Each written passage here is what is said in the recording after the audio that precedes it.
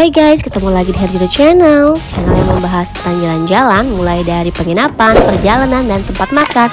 Sebelum kita mulai, klik like dan subscribe dulu ya. Kali ini kita mau menginap di salah satu hotel di kawasan Cihampelas ya. Namanya Grand Cokro. Ini lobinya dan banyak tamu ya pada saat itu ya karena memang kami nginapnya di weekend sih ya. Jadi ini juga tamunya kalau dari cara berbicaranya memang kayaknya dari berbagai kota di Indonesia.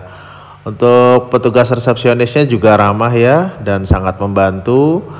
Ini untuk lobbynya cukup luas walaupun memang tidak terlalu tinggi ya. Kalau kita lihat pelayanannya cepat ramah dan kita saat ini mau naik ke kamar kita ya. Karena berada di depan hotel jadi kita bisa melihat kota Bandung ya. Dan ini adalah koridor menuju ke kamar. Pencahayaannya cukup cerah ya, jadi terang begitu. Kamar ini kami pesan melalui websitenya secara langsung ya dengan harga sekitar satu jutaan. Nah cuma sayangnya di tengah-tengah ada tiang begini ya. Nah ini adalah kamar mandinya ya.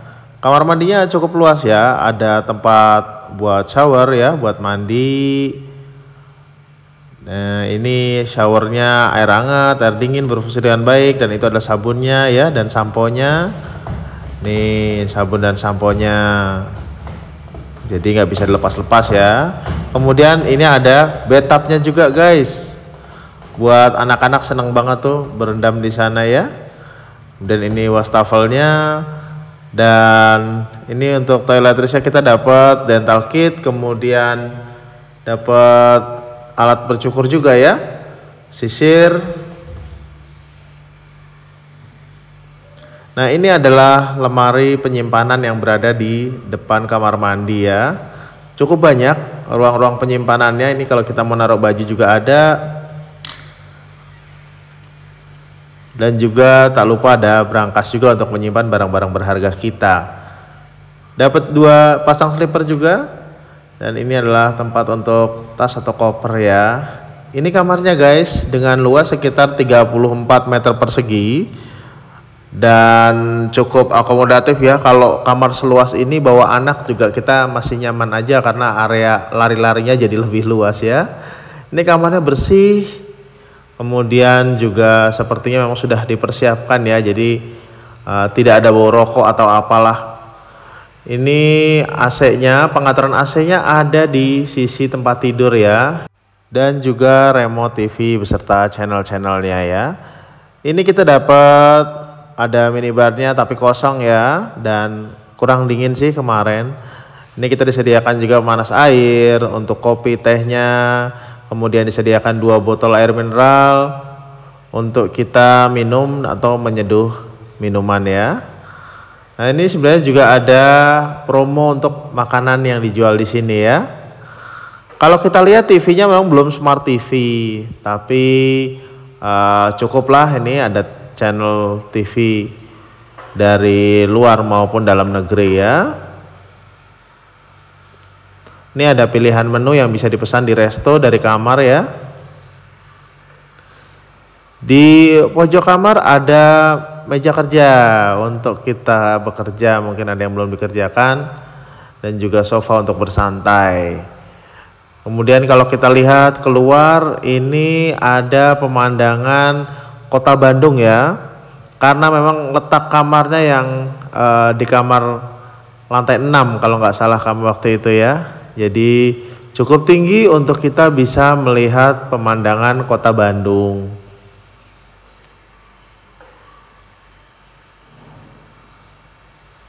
Dan jalan Ciamplas pada saat itu memang belum terlalu ramai ya. Karena mungkin masih sore ya.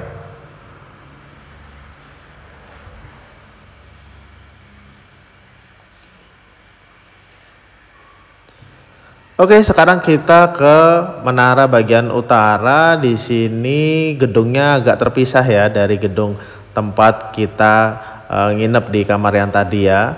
Nah, di sini ada bisnis cornernya untuk barangkali ada yang butuh internet. Kemudian kita mau coba naik nih. Katanya sih ada tempat main anak di sini. Ada Buba Kids Mom and Spa. Nah, ini harga-harganya ya. Mungkin bagi bunda-bunda yang ingin spa dan juga babynya juga. Kemudian ini di rooftopnya juga ada tempat makan ya dengan gaya Jepang ya. Cuma memang bubalannya tutup pada saat itu ya. Jadi memang udah malam ya, jadi udah tutup. Besok kita lihat deh. Balik lagi ke sini. Ini adalah pemandangan dari seberang uh, hotel ya. Sini ada uh, Alfamart kita belanja ya sambil kita ngelihat hotel dari depan. Selamat pagi Bandung, mataharinya ini udah mulai cerah ya di Bandung ini ya. Ini pagi harinya matahari langsung ke kamar, jadi nggak ada alasan buat bangun sih karena jadi silau banget ya. Oke, kita pagi ini mau sarapan dulu. Sarapannya ada di lantai dua dari lobby tempat tadi kita check in ya.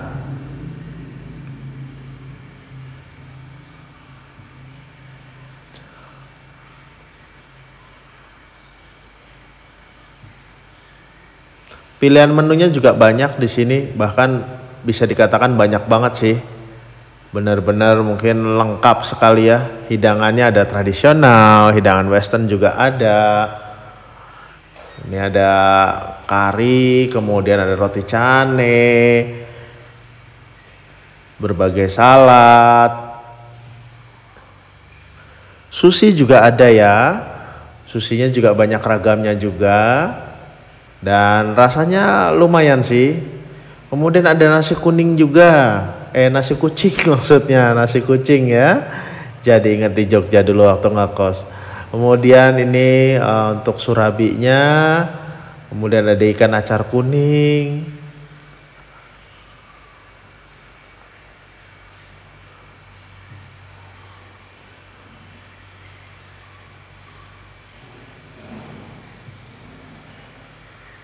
Wah enak banget emang menggugah selera di sini ya.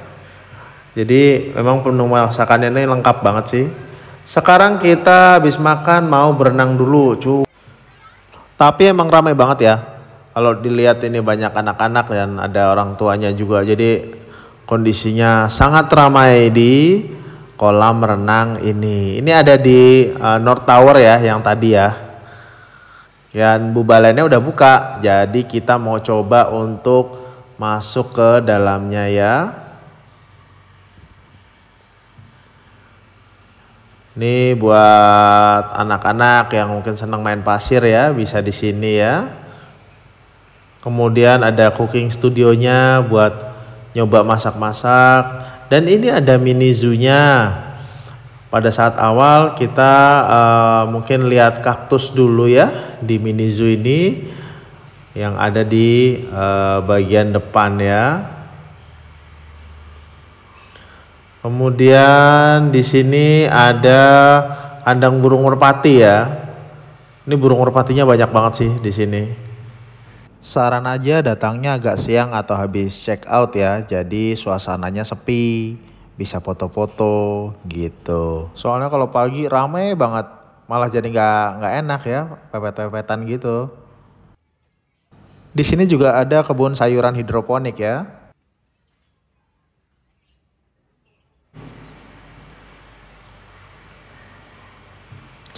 Nah, di sini ada domba dan kambing ya. Kemudian juga ada anak sapi.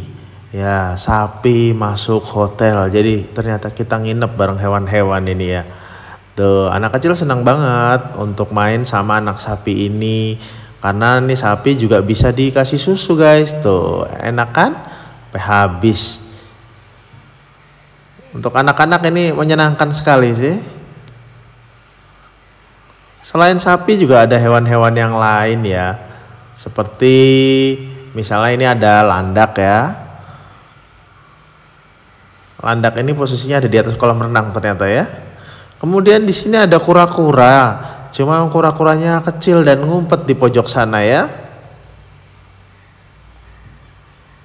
Tuh, kita perbesar sedikit ya. Jadi mereka ada di pojokan ini. Kemudian ada marmut juga. Kita kasih makan wortel ya. Dan berbagai jenis ayam. Nah, ini ayamnya lucu ya, ada jambulnya ya. Tuh, lucu nih ayam-ayamnya nih. Koleksi ayamnya juga lumayan ya, lumayan banyak ya. Nggak hanya satu jenis aja, tapi memang ada beberapa jenis ayam berbeda yang dipelihara di sini ya.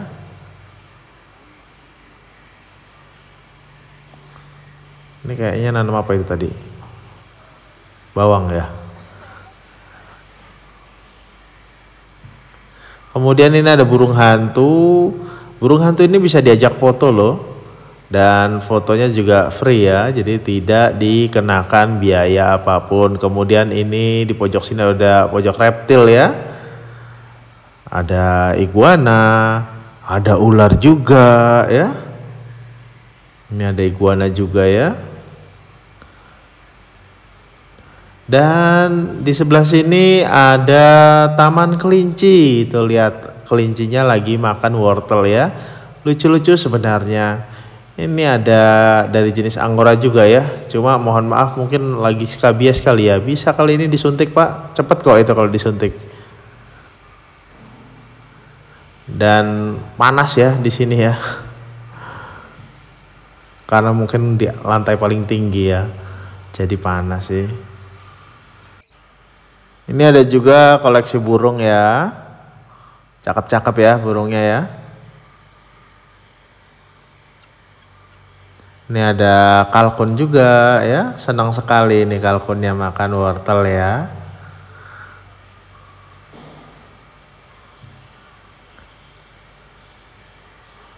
Di sisi sebelah sini Nah, ini lucu juga ya. Ini kalkun juga kan ya. Kemudian ini bebek. Bebeknya biasanya dia ada tempat berenangnya ya. Di sini sih nggak disediain sih. Dan ini ada apa ini ada musang ya ini ya. Nah, sekarang kita timba di kandang domba ya.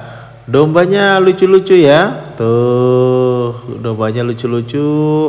Anak-anak pasti senang deh main di sini karena hewan-hewannya banyak dan terawat. Hewan-hewannya terawat sih.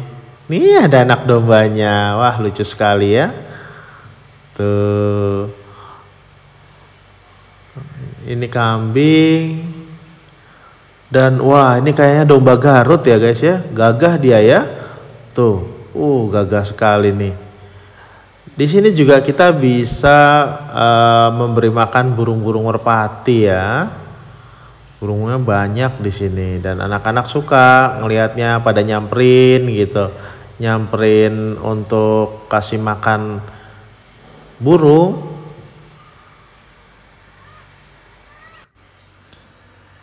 Dan sekarang kita coba yuk naik kuda. Untuk naik kuda ini bayar lagi ya guys ya. Harganya 25.000 yang kita bayar dengan menggunakan kartu yang udah kita beli saldonya tadi ya. Ini kudanya bisa jalan keliling tapi cuma di atas ini aja ya di uh, mini zoo ini ya.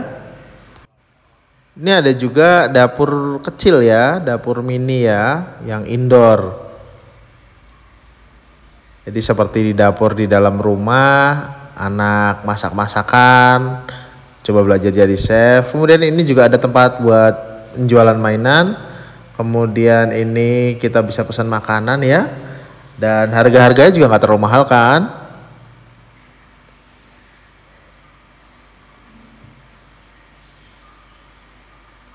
Kemudian di sini juga ada playgroundnya juga buat anak-anak main ya.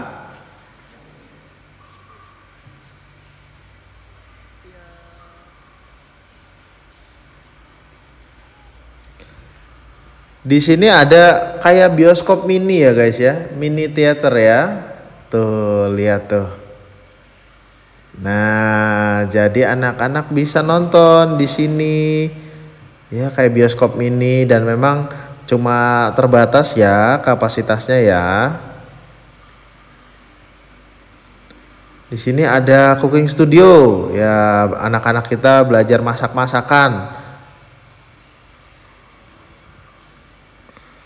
Jadi sebenarnya ini posisinya cuma di samping kolam renang ya.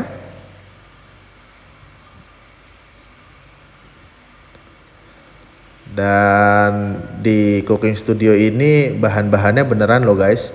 Tapi pakai kompor induksi ya, jadi nggak takut kebakar begitu. Nih bisa masak-masak beneran ini bahan-bahannya ini. Jadi bukan bohong-bohongan ya. Oke, segitu dulu review kami tentang Hotel Grand Cokro Bandung. Sampai jumpa di video kami selanjutnya. Jangan lupa klik like and subscribe. Bye.